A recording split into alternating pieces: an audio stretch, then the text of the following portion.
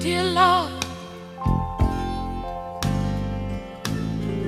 our Father God, rule of our nation and mankind. You said suffer,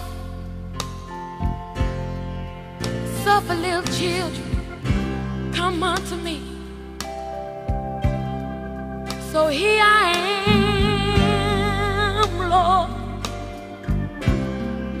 with a bowed down head and folded on. We the truth is,